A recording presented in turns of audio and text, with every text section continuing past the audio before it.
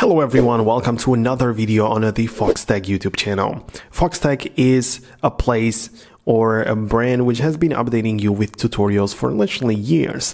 And the topic for this video is how you can move a keyboard on the iPad. Now let me just open up the Notes app so I can type something in. I'm gonna click on that and I can see a keyboard which shows up on the half of the screen and literally covers everything. Now if I want to move it around, all I have to do is just to pinch on the screen like this. You can see, you can pinch it and a smaller screen is gonna show up. And as you can see, it has some kind of handle at the bottom.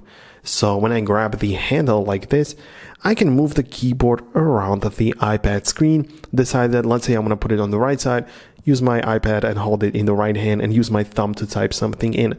So that's an option how you can basically go ahead and use the keyboard in the floating state, as Apple calls it, and move it around.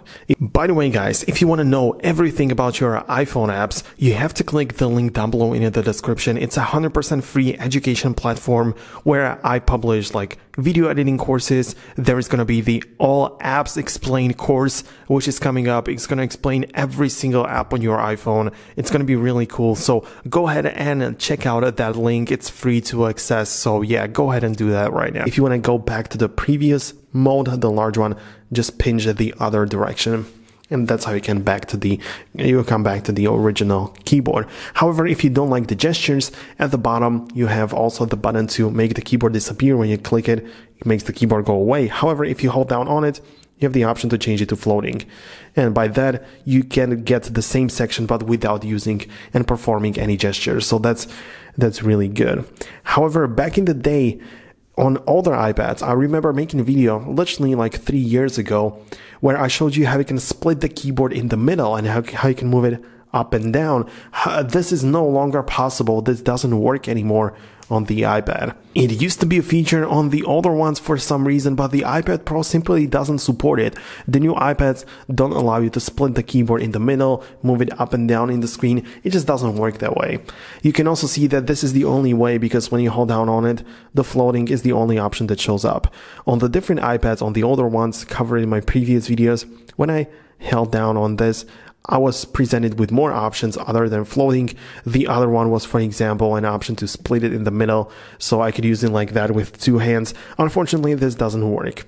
However, if you don't like the way how you use your keyboard on the iPad, you still have the option to download a third-party keyboard, which I believe should have more options.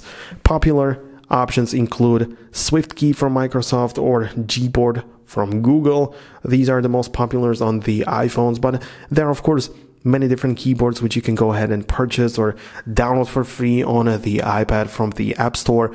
So it works very easily. You can find out that uh, some apps perhaps allow you like more features in terms of the keyboard. So it's up to you to decide what you want to use, but just know that the options are there available on the App Store. So I'm going to wrap up this video right now. I hope I explained everything to you properly. In case I did and you found this video useful, Make sure to leave a thumbs up, leave a like on this video, and subscribe down below by clicking on the subscribe button, and you never miss future videos like this one. Thanks all for watching, see you guys later.